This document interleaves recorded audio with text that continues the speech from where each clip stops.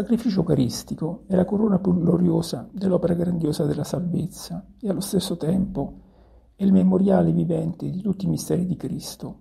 Tutto ciò che è misterioso e divino, maestoso e sublime, toccante e commovente, beatificante e consolante, istruttivo ed edificante nella religione, nell'incarnazione, nella Chiesa cattolica, nel suo anno santo, tutto questo è raccolto e racchiuso nella liturgia della Messa. Chi vi mediti devotamente, con fede viva, non può non rinvigorire e crescere in virtù e meriti. Soprattutto il sacrificio eucaristico richiama vivamente alla mente la passione e la morte di Cristo, il Dio uomo. Fra le gioie di Natale e il trionfo della Pasqua, il Monte Calvario con la sua eterna serietà rimane il punto centrale di ogni celebrazione sacrificale. Nella messa il confiteor e il Kyrie e l'Eison non sono mai eclissati dal canto dell'Alleluia.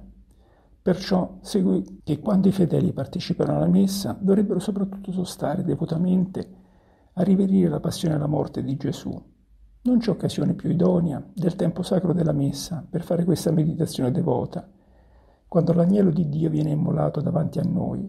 Certamente non è difficile, durante la celebrazione della messa, mettersi ai piedi della croce e abbracciarla, i paramenti del sacerdote, il crocefisso sull'altare, i tanti segni di croce, la mescolanza dell'acqua e del vino, gli elementi separati del pane e del vino, l'elevazione dell'offerta da sacrificare, lo spezzare l'ostia, i movimenti e gesti del sacerdote sull'altare, insomma, tutto il rito rappresenta i diversi misteri della passione, ricordandoci delle sofferenze numerose e amare che Cristo sopportò per noi, donando la sua vita e morendo di morte crudelissima per noi.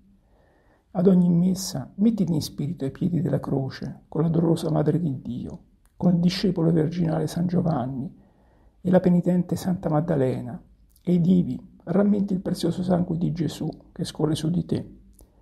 Pensaci ai dolori e alle ferite di Gesù, pensa alla sete al fiele, ai chiodi e alla lancia. Come potresti rimanere freddo e indifferente? E al pensiero di questi tremendi misteri, quali furono compiuti sul Monte Calvario per te? Gli stessi poi che sono stati rinnovati misticamente sull'altare.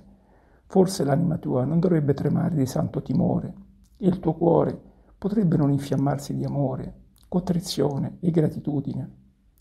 Nelle ferite e nei dolori di Gesù c'è un numero incalcolabile di rimproveri per la nostra tipidezza e pigrizia nel servire di Dio, per l'incostanza della nostra volontà, per la nostra avversione alle prove, delle privazioni e umiliazioni.